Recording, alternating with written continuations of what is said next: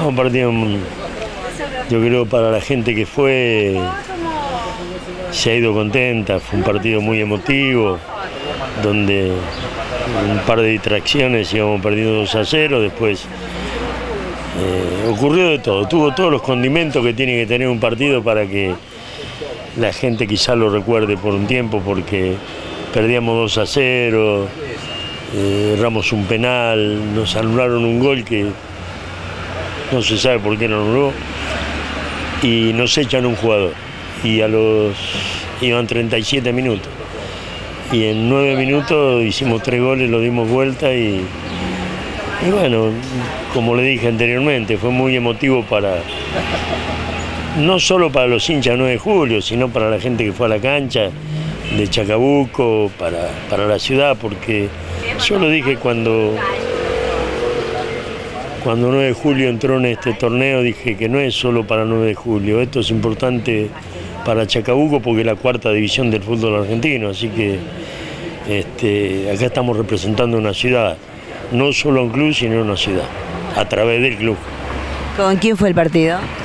Con Defensores de Salto, un equipo que tiene mucha trayectoria en estos torneos y nosotros somos los benjamines. ¿Quiénes hicieron los goles?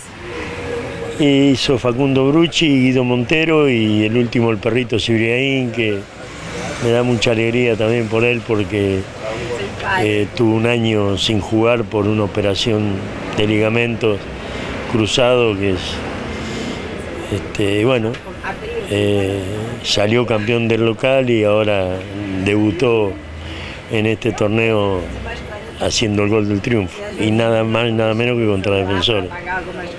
¿El próximo partido dónde es? El domingo en Pergamino, con Argentino de Pergamino, en 17.30. Un equipo también con mucha historia. En, esta, en estos torneos son todos equipos. Este, pero bueno, a, a 9 de julio le viene bien, a Chacabuco le viene bien. A mí me han mandado mensajes de Neuquén, de, de Río Negro, de, de La Pampa, de Buenos Aires, hasta si me quiere creer, de España me mandaron mensajes, porque hay muchos chicos de Chacabuco en España, pero un jugador que yo tenía en Brasil cuando dirigí en Brasil, me mandó mensajes porque nos siguen este, a través de, de las redes sociales, hoy es muy fácil. Este, con la tecnología de enterarse de todo. Y bueno, estaba todo el mundo muy, muy contento por, por lo acontecido, ¿no?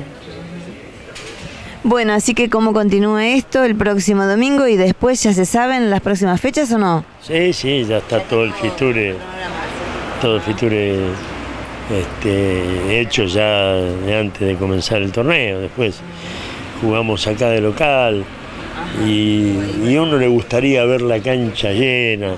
No hay nada más lindo para un protagonista, para un jugador, este, entrar a la cancha y, ver la cancha llena. No hay nada más lindo que eso. Por eso, desde este lugar me permito eh, pedir a la gente que acompañe, que acompañe a la ciudad, que acompañe a un equipo que está representando a la ciudad.